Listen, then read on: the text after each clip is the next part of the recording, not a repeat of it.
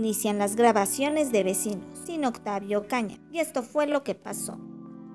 Pero antes te invito a activar la campanita de notificaciones para que te enteres pronto de las notas del momento. Y darle like al video si te gustó e interesó la nota.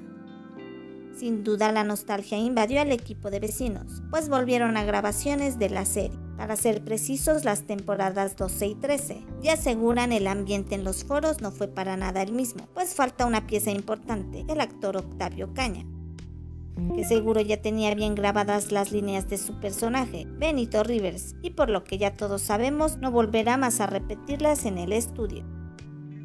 Sin embargo, el show no puede esperar, y a pesar de los sentimientos encontrados de los actores por la emoción de volver al foro a dar vida a sus personajes en vecinos, pero al mismo tiempo el amargo trago sobre la partida de Ocaña, ahí se presentaron, dispuestos de volver a darles risas a los seguidores de la serie.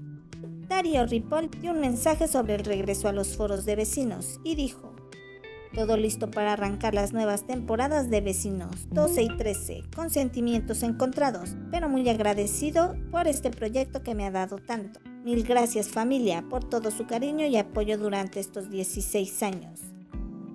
Los seguidores de Benito Rivers esperan poder ver un homenaje que el productor del programa prometió a los fans de Octavio y por supuesto también a los fans de Benito.